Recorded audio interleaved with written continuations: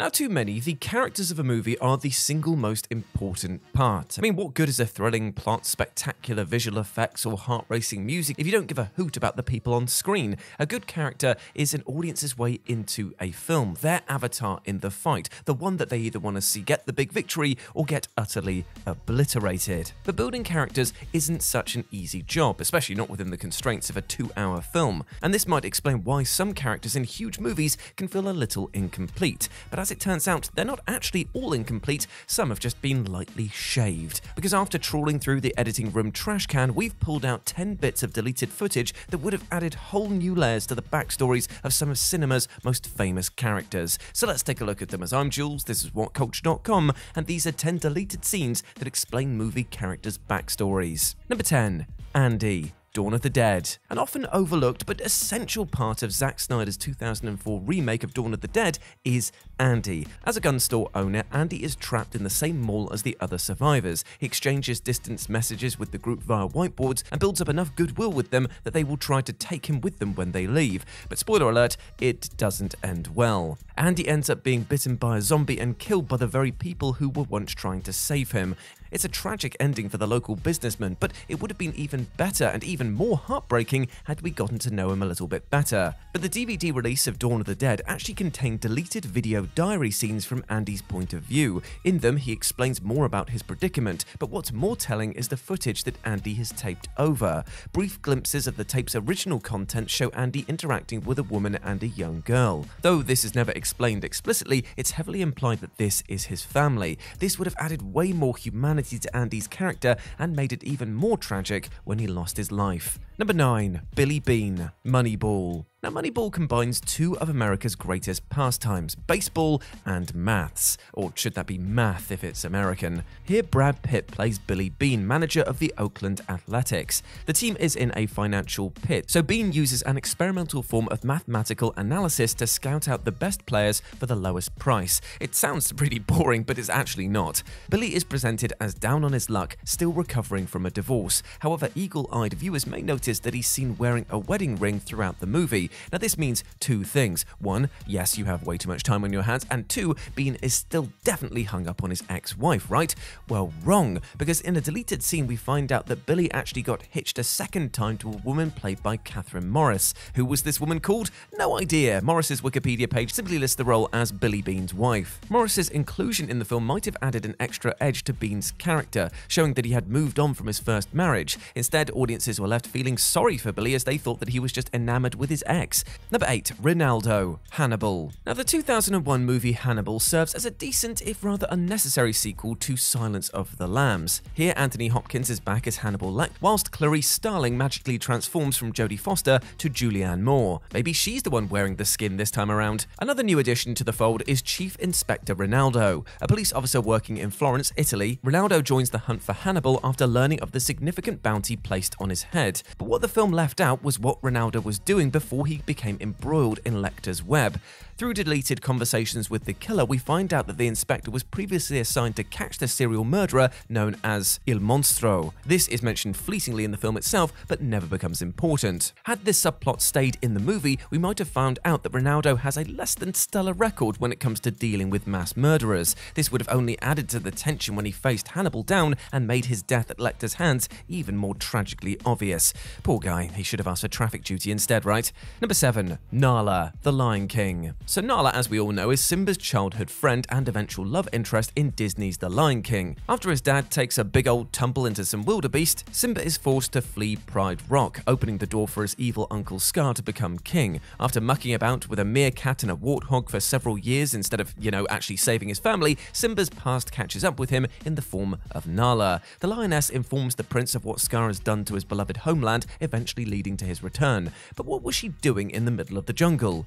In a scene that only made it to the storyboarding stage, Scar decides that he is missing a queen to rule by his side. Nala walks in moments later, in a moment that would have been comical had it not been so utterly sinister. The tyrant propositions the young lioness only to be sternly rejected. He snaps and banishes Nala from his kingdom for daring to defy his rule. So there we have it, she wasn't just in the jungle by chance, she was exiled as well. Number 6. Harry Waters, in Bruges. In Bruges is a great film about very terrible people. When the heroes of the story, and I use that term very loosely, are contract killers, you know that you're in for a wild ride. Colin Farrell and Brendan Gleeson play the two hitmen Ray and Ken, who were hired by the unhinged comedic genius that is Ralph Fiennes' Harry Waters. A foul-mouthed gangster with a Cockney accent so aggressive it should well be muzzled, Harry orders his employees to hide out in the titular city before travelling there himself to tie up loose ends. In a flashback scene cut from the theatrical release, we see a young Harry comforting Ken on the night of his wife's murder. After being told what happened, Harry goes to the police station to deal with the detective who led to the death.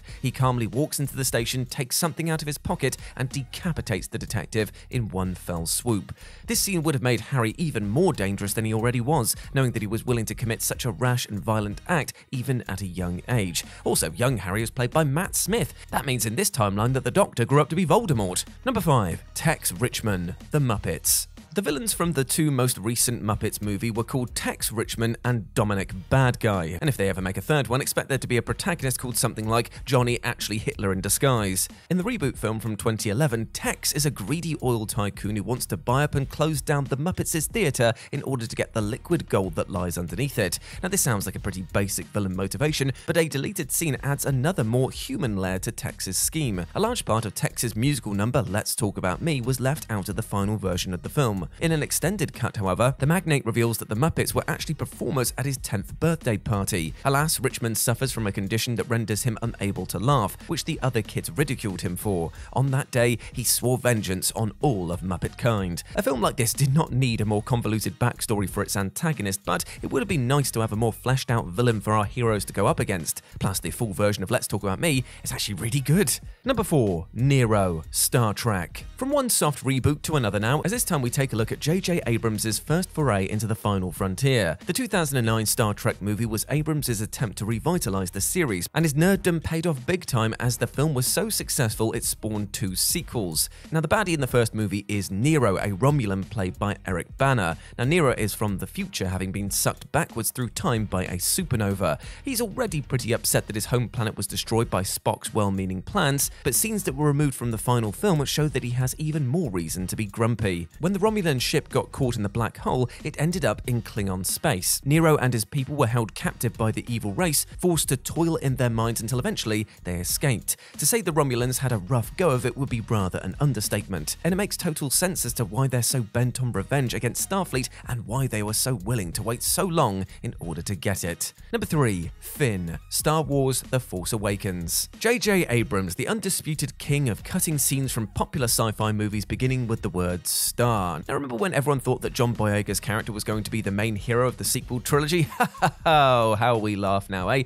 But when we first meet Finn, played by Boyega, he was nothing but a humble stormtrooper. He's part of an assault on Jakku that forms the opening of The Force Awakens, and where he gets a healthy dose of trauma after one of his squad mates gets blasted to death right in front of him. Another scene was filmed where Finn encountered a villager and her baby. After initially pointing his weapon at the pair, the trooper stands down and allows them to go free. It's a very human moment from the faceless grunt because Boyega adds a lot to it with his frantic breathing and reluctant stance. Watching this would have really helped the audience double down on the whole this guy isn't actually evil thing. It would have also provided another instance of Finn actively refusing his mission statement as well as showing him save a life in the middle of such a battle. Number 2. Boromir, The Lord of the Rings, The Two Towers. Death count number 29 out of 5,647 here for Sean Bean, and as fans of Lord of the Rings, we all know that Boromir plays a key role in the first of Peter Jackson's flawless Lord of the Rings film trilogy. A member of the Fellowship of the Ring, Boromir accompanies Frodo, Sam, and everyone else to Mordor, but not before informing them that one does not simply walk there.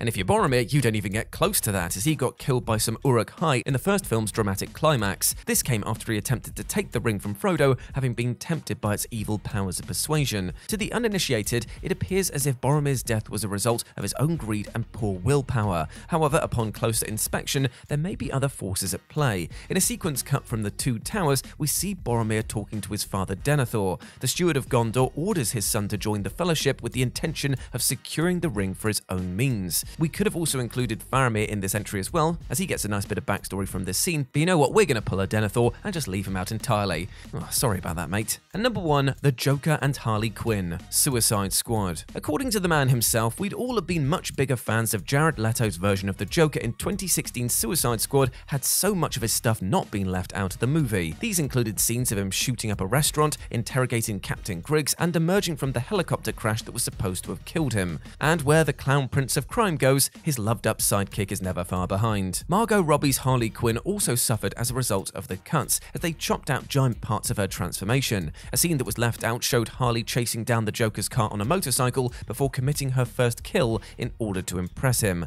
Leaving all of this footage on the cutting room floor helped condemn Suicide Squad to the fate that it suffered at the hands of critics and fans. We're not saying that these scenes would have saved it, I mean, the second coming of Christ probably couldn't have done that, but we are saying that we might have enjoyed it a little bit more were we given any reason to care about so many of its characters. And there we go, my friends, those were 10 deleted scenes that explain movie character backstories. I hope that you enjoyed that, and please let me know what you thought about it down in the comments section below. As always, I've been Jules. You can go follow me over on Instagram at RetroJ, but the O is a zero, and you can come check out all of the Warhammer miniatures that I've been painting up. But before I go, I just want to say one thing. Hope you're treating yourself well with love and respect, my friend, because you deserve all of the best things in life, alright? Like love, happiness, and success, and do not let anything or anyone else tell you otherwise. You are a massive, massive ledge. As always, I've been Jules. You have been awesome. Never forget that, and I'll speak to you soon. Bye.